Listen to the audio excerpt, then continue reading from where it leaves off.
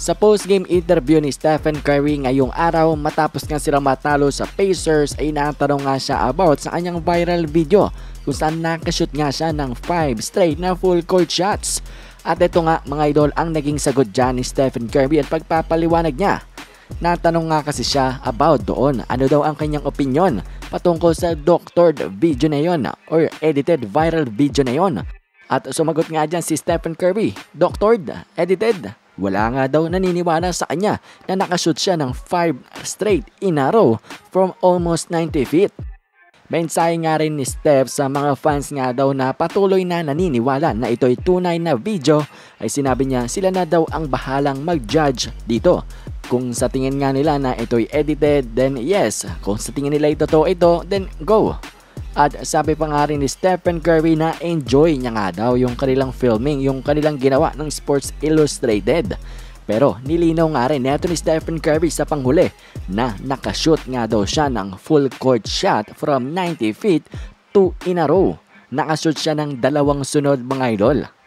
So yun ang patunay kung bakit hanggang ngayon ay may mga naniniwala pa nga fans, lalo na mga Curry fans na totoo yung video yon dahil kayang-kaya kasi ni Stephen Curry na gawin yon.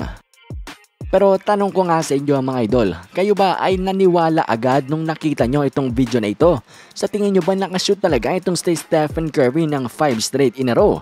Kasi ako mga idol, to be honest, ay naniwala ako dito mga idol. Sobrang ganda rin kasi ng edit at sobrang linis. At si Stephen Curry pa, the greatest shooter of all time.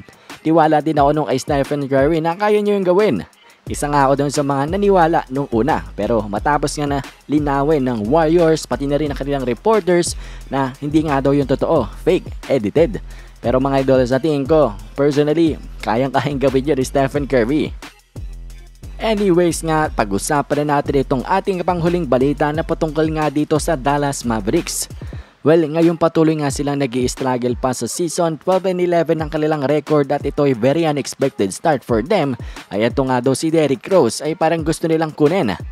Sabi nga dito sa report na ito, the Mavericks of course lost Bronson to the New York Knicks last summer and are in desperate need of a second player maker to relieve All-Star point guard Luka Doncic.